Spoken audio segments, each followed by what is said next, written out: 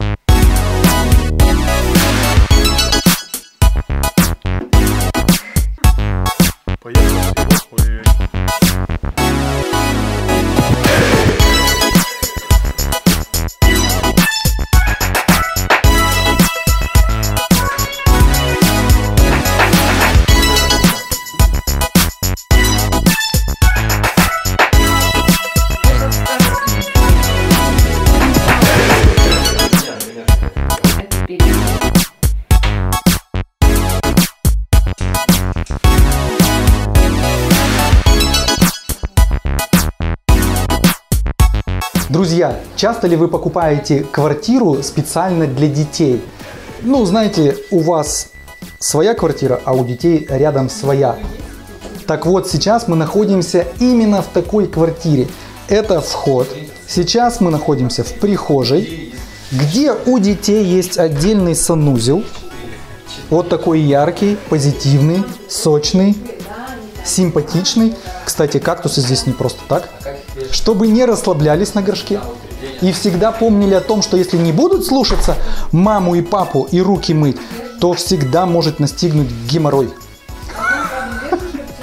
И воткнуться иголками в нежную попку ребенка-подростка. Есть прихожая, смотрите, какая классная. Заходим, здесь есть очень такой интересный пуфик. Правда здоровский, яркий? Ну прям детский. Вот эти вот крючки, на которые почему-то никто не вешает. Почему все бросили, я не понял. Вот так вот надо вешать.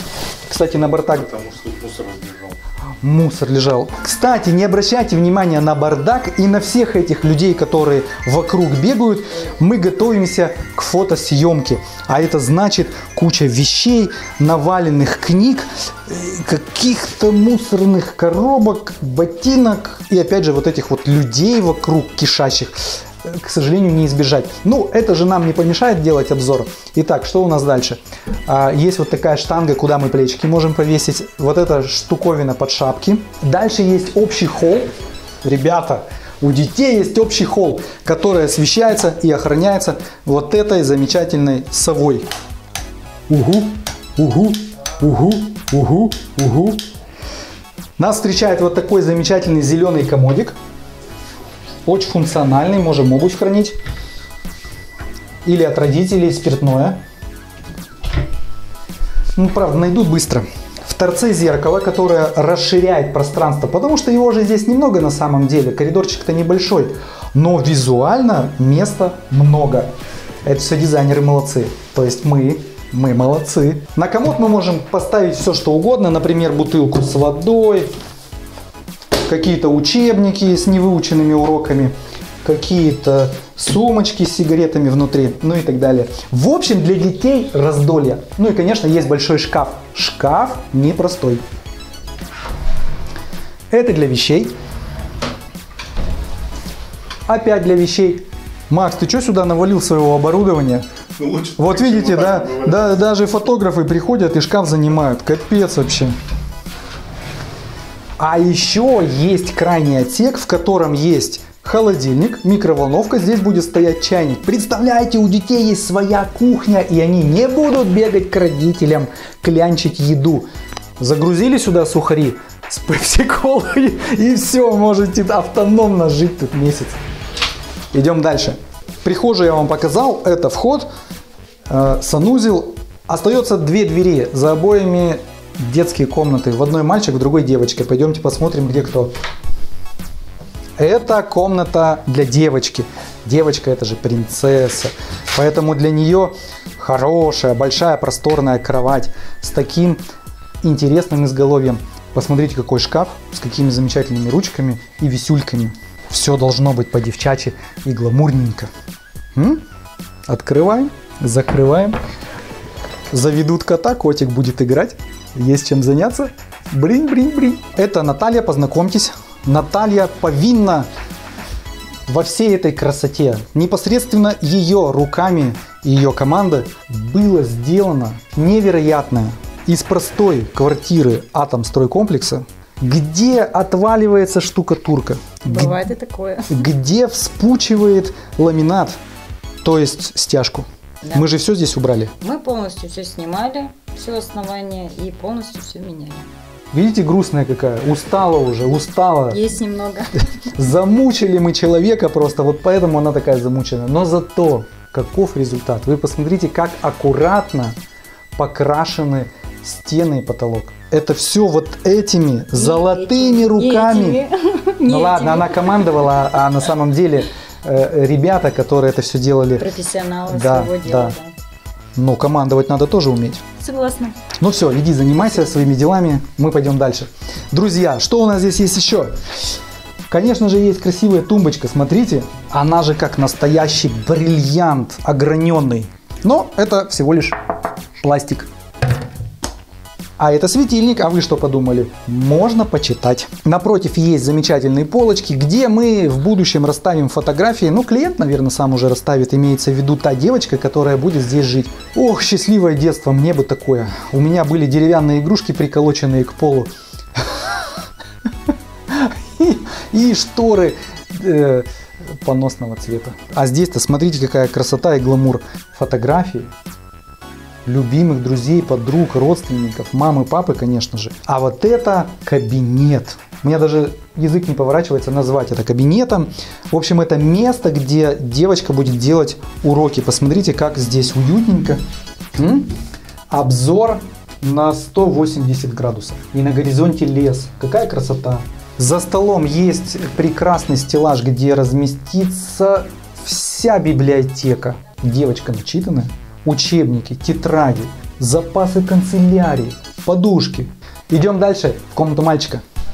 Заходим. А вот и мальчик! Но эта комната не его. Этот человек всего лишь занимается тем, что Сидит на пуфе. я только что хотел его похвалить, сказать, что он все, что здесь стоит, привозит сюда. Это наш комплектатор.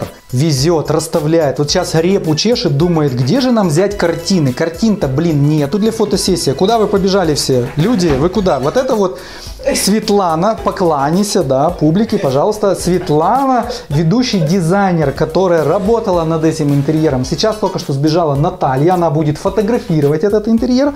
Мы еще ее настигнем фотообъективом. А пока Светлана, Светлана, давайте я пойду. в микрофон говори. Тяжело тебе было здесь работать? Да, ну интересно. Все, что ты можешь сказать? Сколько времени длился ремонт? 10 месяцев. Ребята, Вынашивали прям. 10 месяцев. Вот поэтому э, Наталья, прораб наш, была такая грустная. 10 месяцев она здесь наводила красоту. А Светлана ничего, цветет. Все молодцы. Вы сами можете оценить, какая красота.